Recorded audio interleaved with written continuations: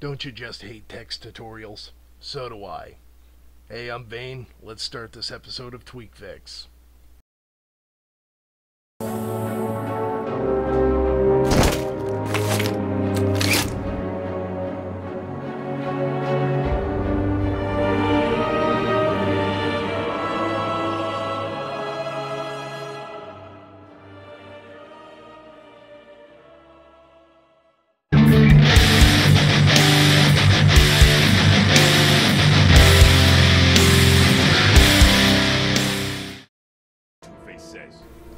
What you're seeing here is already tweaked gameplay footage.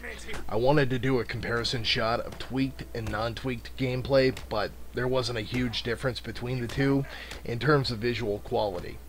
The main difference between the two is texture quality and the frame rate. As usual, I've gone ahead and disabled dynamic lights, which provided a big frame rate boost and unlike Borderlands 2, surprisingly, it doesn't seem to affect visual quality, except for just a few minor things which I'll point out as we go.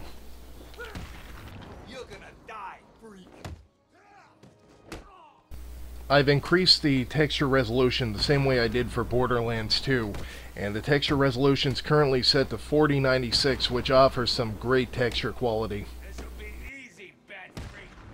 With these tweaks, I'm consistently getting between 35 and 40 frames per second, with the exception of a few drops here and there, but that's obviously to be expected with any PC game.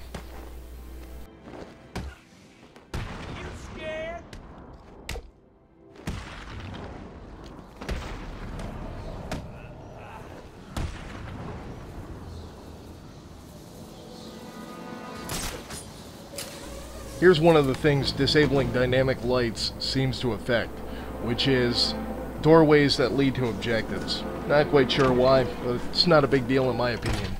Either way, let's start the tweaking process, guys. Alright guys, this is going to be a very easy tweak.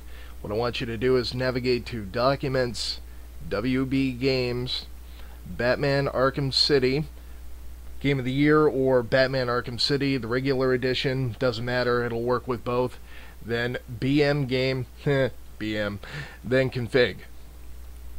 Alright, now we're going to open up the file that you downloaded, and you guys know how terrible my file names are, and I purposely love to make them cheesy.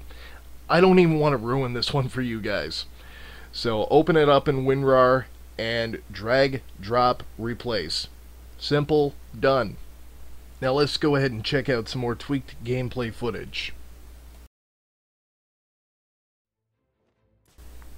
Alright, before I leave you guys with the rest of the gameplay footage, I'd just like to take a moment to say that there is a lot more episodes of Let's Play Borderlands 2 coming up very shortly as well as I am doing a Halloween episode of Radeon HD 3000 Gaming. The episode's going to be packed chock full of scary and creepy games, so get those requests in, guys, and I'll see what I can do. Also, just to point out, you can find all this information on my Facebook. I am updating it constantly, every day. So, be sure to check that out. Link will be in the description. You'll be okay. Wait here. I hope you guys can put these tweaks to good use. Thanks for watching. As always, take care, guys. I'll see you next time. You're safe. Stay quiet. He's got a hostage. I can glide to the scaffolding above him without being seen, and take him down from there.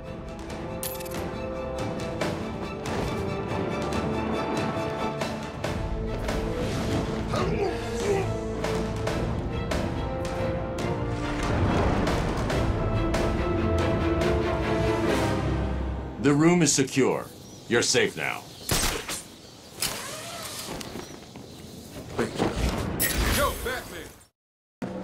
Well, look who it is.